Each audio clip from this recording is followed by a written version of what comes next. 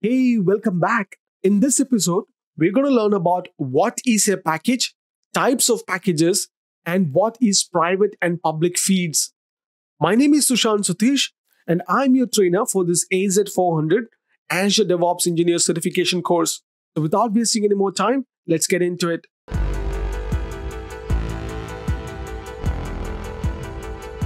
So let us start with understanding what is a package. Packages are used to define the components you relay and depend upon your software solution. They provide a way to store those components in a well-defined format with metadata to describe it. A package is formalized way of creating a distributable unit of software artifacts that can be consumed from other software solution. The package describes the component it contains and usually provides additional metadata. This additional information uniquely identifies the individual packages and to be self-descriptive. It helps to better store packages in centralized location and consumes the content of the package in a predictable manner. In addition, it enables tooling to manage the packages in the software solution. Let us look at the different types of packages. Packages can be used for a variety of components. The type of components you want to use in your code base differ for the different parts and layers of the solutions you are creating. Over the past years, the packaging format have changed and evolved. At the moment, there are a couple of de facto standard formats for packages. The first one is NuGet. NuGet packages is a standard used for .NET code artifacts. This includes .NET assemblies and related files, tooling, and sometimes only metadata. NuGet defines the way packages are created, stored, and consumed. A NuGet package is essentially a compressed folder structure with files in zipped format and has the .nupkg extension. Second type is NPM. An NPM package is used for JavaScript development.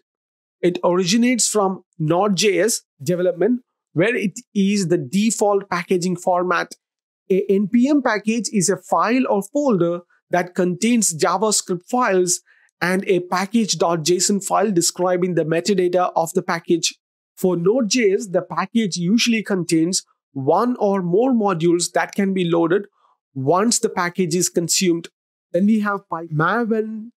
Maven is used for Java-based project. Then we have PyPI, which is a Python package index. And Docker packages are called images and contain complete and self-contained deployments of components. Most commonly, a Docker image represents a software component that can be hosted and executed by itself without any dependencies on other images. Let's understand what is package feed all about and what is private and public feeds. Packages should be stored in a centralized place for distribution and consumption by others to take dependencies on the components it contains. The package feeds are centralized and available for many different consumers. Depending on the package, its purpose and origin, it might be generally available or to a selected audiences. Typically, open source projects for applications, libraries, and frameworks are shared to everyone and publicly available. The feeds can be exposed in public or private to distinguish its visibility. Public feeds can be consumed by anyone, and private feeds can only be consumed by those who are allowed to access. And each of these packages has corresponding manager that takes care of one or more of the following aspect of the package management. Installation and removal of local packages, pushing packages to a remote package feed, consuming package from remote package feed, searching feeds for packages, etc. And the package manager have cross-platform command line interface tools to manage the local packages and feed that host the packages. The CLI tooling is part of a local install on a development machine. So let's look at the packaging sources in detail. The various packaging type have a standard source that is commonly used for public use. It is a go-to place for developers to find and consume publicly available components as software dependencies.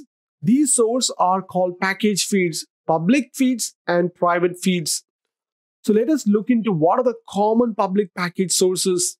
In general, you will find the publicly available package sources are free to use. Sometimes they have a licensing or payment model for consuming individual packages or the feed itself. These public sources can be used to store packages you have created as part of your project. It does not have to be open source, although it is in most cases. Public and free package sources that offer feeds at no expense will usually require that you make the packages you store publicly available as well. The different types of package sources available are NuGet, NPM, Maven, Docker Hub, and Python. Now let us look at the private feed. Private feeds can be used in cases where packages should be available to a selected audience. The main difference between public and private feed is the need for authentication. Public feeds can be anonymously accessed and optionally authenticated, wherein private feeds can be accessed only when authenticated. There are two options for private feeds self hosting and SaaS services. In self-hosting, some of the package managers are also be able to host a feed. Using on-premises or private cloud resources, one can host the required solution to offer a private feed. In SaaS services, a variety of third-party vendors and cloud providers offer software as a service feed that can be kept privately. This typically requires a consumption fee or cloud subscription.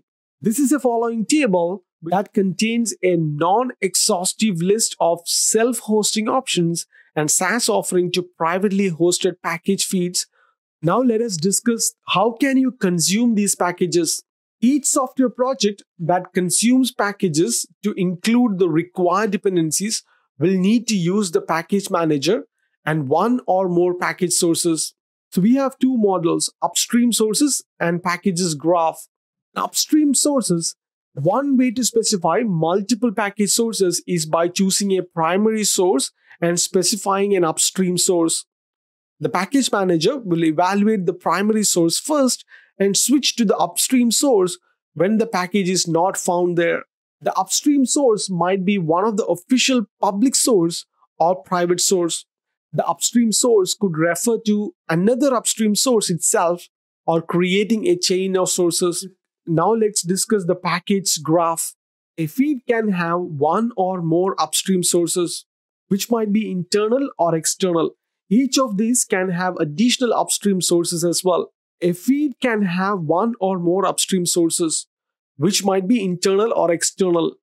Such graph can offer many possibilities for layering and indirection of origins of packages.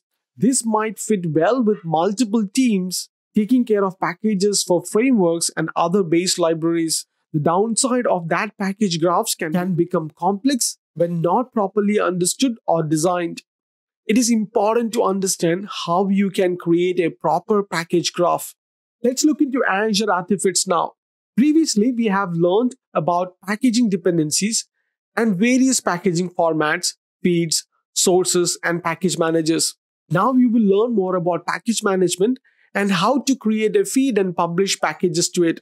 Microsoft Azure DevOps provide various features for application lifecycle management, including work item tracking, source code repositories, build and release pipelines, and artifact management.